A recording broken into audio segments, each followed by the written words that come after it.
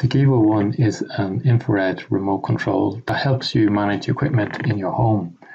You can control the TV, music system, receiver for lamps or door phone, automatic doors.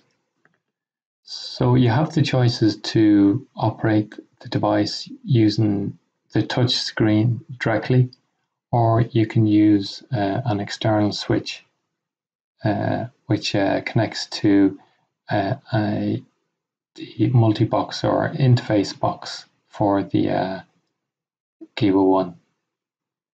So pressing the switch activates the scan and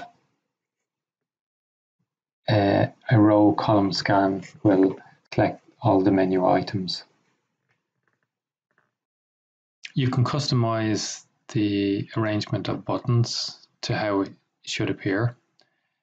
Symbols can be used, uh, different color backgrounds, and voice recordings in order to help with navigating around. You can also make calls and send text messages uh, once you have inserted a SIM card.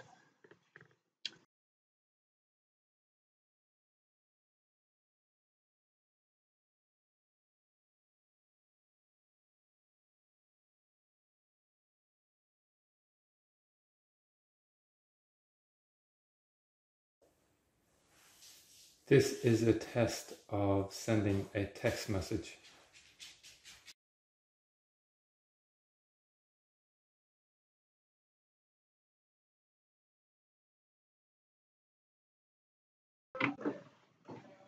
So this is the online editing tool. It's uh, at myabilia.com and it gives you the, the access to edit the, the device so that you can put in new cells or make edits to any of the existing cells.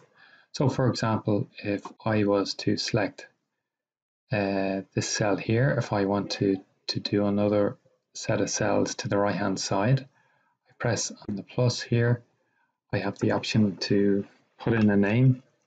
Now I'm going to select a, an icon here, but I could uh,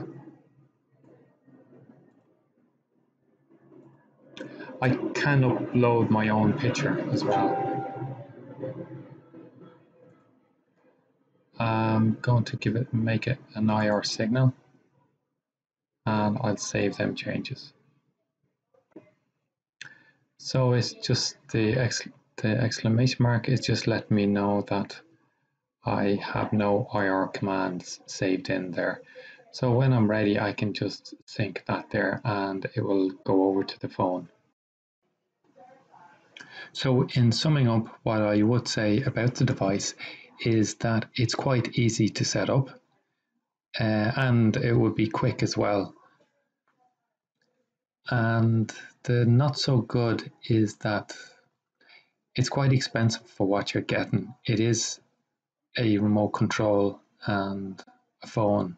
You, do, you don't have access to the other Android apps now there is a, another device which Abilia do, the GEWA Connect, which does uh, allow these features, but this GEWA One uh, does not allow uh, access to other apps.